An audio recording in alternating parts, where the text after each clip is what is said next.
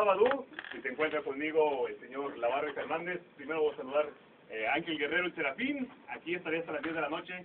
Y señor Barbie Fernández, un ¿Cómo gustazo. estás, muñeco? Va a tener, ¿Cómo estás, muñeco? le tenemos que presentar una gran sorpresa. Eh, por favor, hágame el favor de decirme de qué se trata porque me quedo todo Gracias. angustiado. Gracias, señor Serafín. Señores, señores, un gusto y un placer saludarlos a través de los micrófonos del 90.7, la mejor. Y como todos ustedes saben, hoy la feria se viste de gala porque en el palenque se presenta nada más y nada menos que Espinosa Paz. Espinosa Paz, ¿cómo estás? Un gusto saludarte. Un placer estar aquí en los controles de la mejor. Saludos a, a toda la plebada que está aquí, a las muchachas gritonas.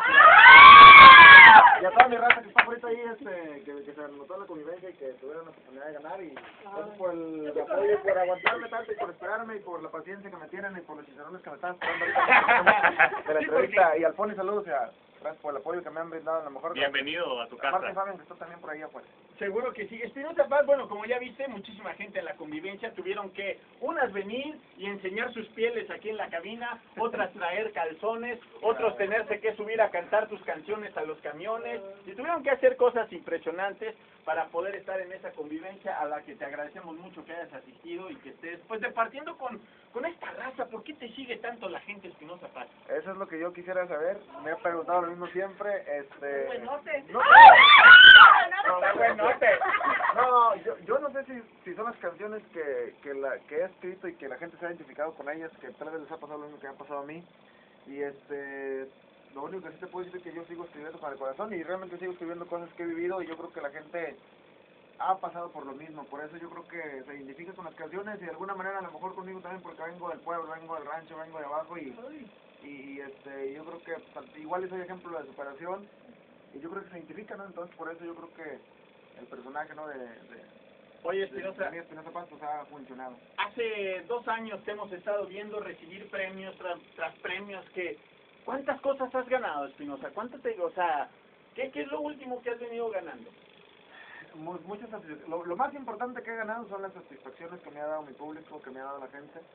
Este, los premios son pedazos de cristal o de metal o de, de- de algún otro material que son son objetos que, que se guardan ahí en una repisa y ahí están, ¿no? Pero los aplausos de la gente, los gritos, las lágrimas, las, las risas, el recibimiento, eso se van directamente al corazón y... Porque el dinero se va a Suiza a una cuenta.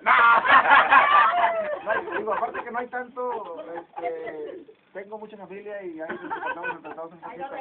Mucha necesidad. Es que en la realidad tú, tú tienes esa, ese don, esa facultad de cantar la realidad, lo que la gente siente, inmediatamente se identifican contigo por eso, ¿no? Porque ni le ponen de más ni le quitas. Lo que puede sentir una de las puchungas que está hoy aquí acompañándote, lo sientes tú y lo haces canción. Ese es el éxito, ¿no? Así, fíjate que yo creo que una de las cosas que me ha funcionado mucho es que aunque soy artista no pienso como tal, porque yo no pienso que soy artista, aunque en el, muy en el fondo sé que soy, y a donde voy y actúo como si yo no fuera, porque realmente el día que yo piense como artista tal vez ese día no me, no me atreva ni a dar un autógrafo ni a saludar a, a alguien, ¿no? Porque pues un artista la gente lo ve inalcanzable y yo no soy inalcanzable, yo soy más alcanzable de lo que te imaginas. Entonces, entonces yo creo que pues hay que hacer como uno es Pues siempre. bastante alcanzable vas a estar hoy en el palenque. Así es. para que la gente hoy que quiera escuchar la música de Espinosa Paz eh, se apersone ahí en el palenque porque va a estar sensacional. Y bueno, Espinosa, hace, insisto, hace dos años que hemos visto despuntar esa carrera.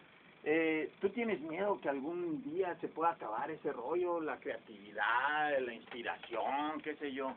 Yo creo que, no, no, yo creo que no, porque mucha gente me pregunta, oye, ¿a qué- ¿en qué momento compones si siempre estás de fuera, no? Es que yo compongo afuera, yo nunca he agarrado un cuarto para escribir canciones, siempre escribo viviendo, siempre escribo a donde voy, como voy, este, en el estado que esté, sentado en así en el aeropuerto, tal vez en el baño, tal vez comiendo, no sé. Eh, pero yo escribo siempre afuera, escribo todo lo que veo, entonces el día que no tenga ojos, el día que no pueda moverme, a lo mejor ese día dejo de, de escribir. Este, mientras no, eso no pase, yo creo que voy a tener sigue, eh, a seguir teniendo inspiración, eh, inspiración, corazón, y yo creo que cuando ya no me gustan las muchachas también